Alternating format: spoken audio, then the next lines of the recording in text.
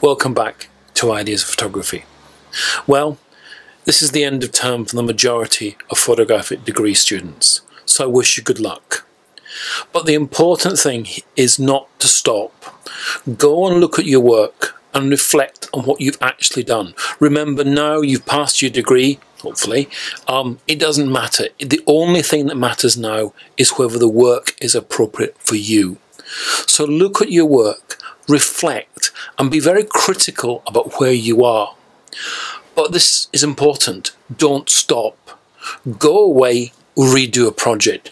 Go away, start another project. Even if it's photographing a cat or a dog, just keep taking pictures and look and see if there's anything new you could do. Again, that's important.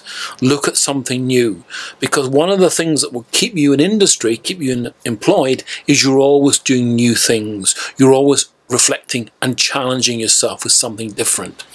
Don't stay doing the same thing because then someone will catch you up and do it better. So find other things for you to do. Challenge yourself. Now, one thing to way to do that is to go and look at your archive of photographs and think, well, how could I have done it differently? Could I have reused the pictures? Could I repurpose them in some way? So that again is something you can do. So in reflection, good luck with the degrees. I hope it goes well. Don't stop taking the pictures. Go and look at your photographs and see if there's anything new you can do. But also look at your photographs and see if you can reuse them in some way. But the most important thing is keep taking the pictures.